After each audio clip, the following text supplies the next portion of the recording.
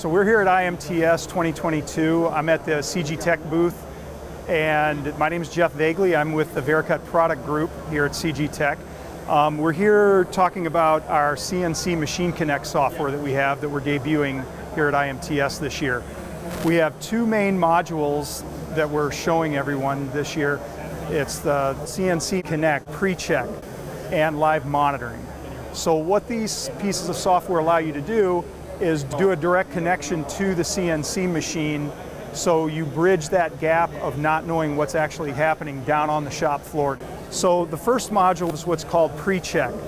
We've, we've checked for the work offsets, tooling offsets, and the NC program. And we get a variety of lights. When we have green lights, that tells us that the data we had in Vericut matches what was on the real CNC machine.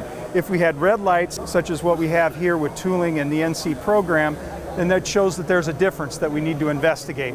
If we take a look at the tooling offsets tab, we see that we've got one tool highlighted that shows a difference in the length. So if we want, we can simply update that from the real CNC machine. And that updates the data that we have here in Vericut. We have tolerances that we can use to account for that difference between the virtual perfect world and what's really happening down on the real machine, where numbers and dimensions are not always exact and, and perfect.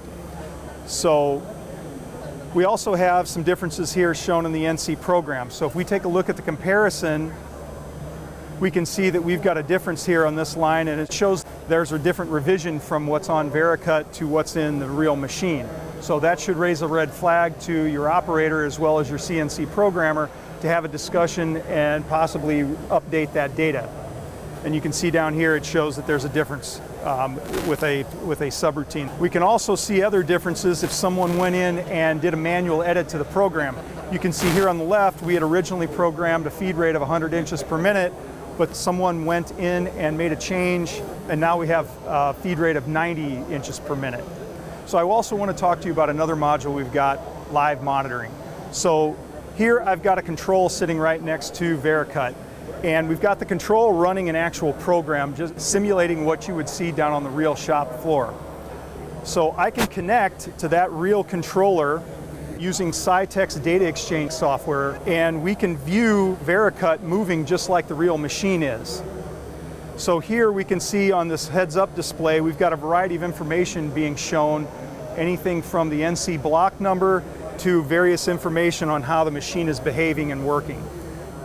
We've got spindle speeds that are displayed, we've got feed rates that are displayed.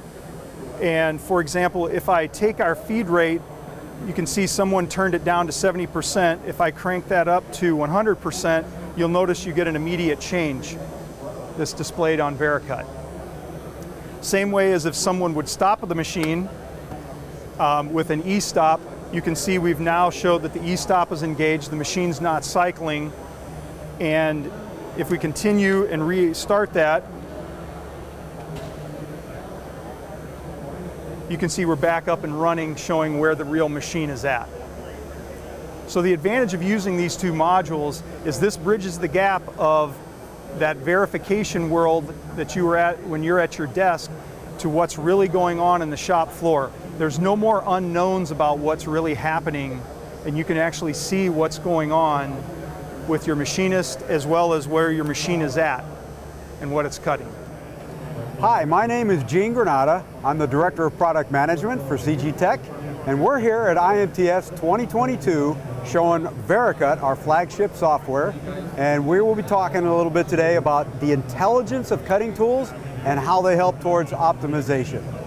So what we have here is our latest release, Vericut version 9.3. And just like most of our users, I've just completed verifying this NC program to make sure the part is doing what I expect to do. The NC programs are good, but what I want to do now is optimize. So we're going to do this the easy way, and then I'm going to show you behind the scenes what happened. So to do the optimization, we're going to go ahead and kick this thing off, and as you see, the Vericut is going to be cutting the part and we have the tools behind the scenes, and what's unique about this is these tools have intelligence with them. There's intelligence that talk about how these tools can be used, what are their limits, what are the proper feeds and speeds, and if you just look in the corner down there, you see we're cutting aluminum in this particular simulation. Vericut knows the material being cut, and with the tool information, the simulation information, we're able to optimize this part to mitigate excessive cutting forces, tool deflection, maintain the proper cutting loads for the tool. Each tool as it runs through the part. So here we've optimized a bunch of them and you're seeing just a quick summary of the part. And this is telling us that we've saved about 21% savings in what you just saw. So even though that sounds incredible, it's just a number on the screen until you see how did this really happen. So let's look behind the scenes a little bit here. We'll open up Vericut's Tool Manager and I'll show you the tools with the intelligence.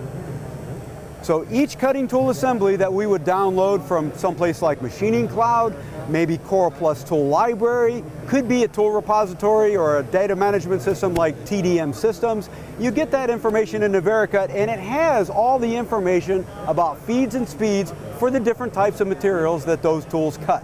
So these are tools that are intelligent. They know how to be used they guide programmers how to use them properly, and they give Vericut the heads up for optimizing them in a way that no other system can perform. So what happened here? Let's take a look. So we have all the statistics over here in this area here, but we also have a wealth of information in what we call cutting graphs. These are the details of what happened with machining. If we just pick on a tool for an example here, and show that one, what we're looking at are several different things here. First, I'd like you to look at this red horizontal line. That's the target for that particular tool or the limit for that tool. We don't want to exceed that. If I show you the unoptimized program, this is the original NC program. And you can see this top graph with the, chip thickness, the hex value for that tool in this material. We've exceeded it with the cam driven program that we put in here.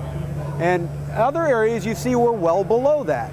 Those are inefficiencies of the cutting tool. So we've got inadequacies, we've got, we're pushing the tool too hard. This job out on the shop floor isn't gonna run super good.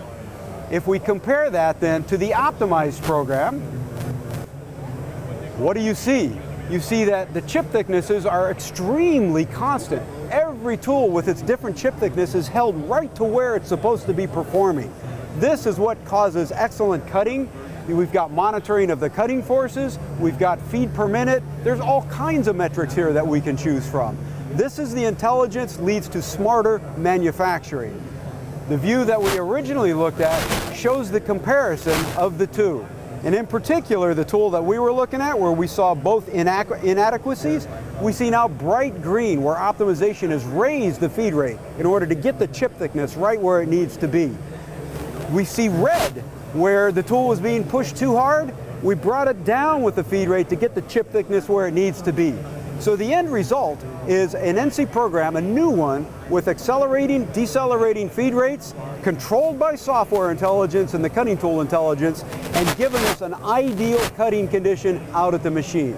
This tool is going to run longer, last longer, produce parts faster, and give us an ideal part with minimal involvement from the NC programmer. The intelligence doesn't need to be here, it's in the software and it's in the cutting tools. So that's what we were excited to show you. Thank you for watching everybody. If you want more information, you can get it from cgtech.com.